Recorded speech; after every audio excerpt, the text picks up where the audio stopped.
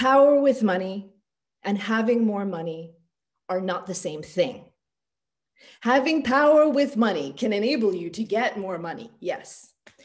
But there is a kind of poverty you cannot buy immunity from.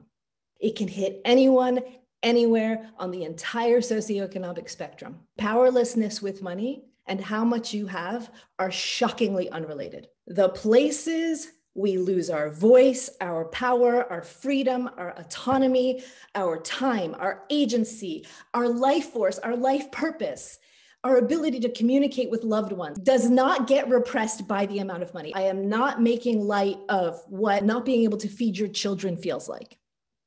I'm saying there is a kind of poverty that when that kind of poverty is addressed, it allows people who have access to money and people who have less access to money to live more powerfully.